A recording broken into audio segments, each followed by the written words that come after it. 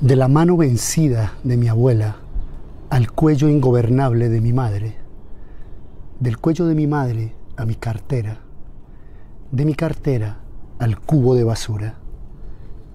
Tirar un crucifijo es un acto que toma tres instantes. Perder la fe, por mucho, solo requiere un soplo y es la vida.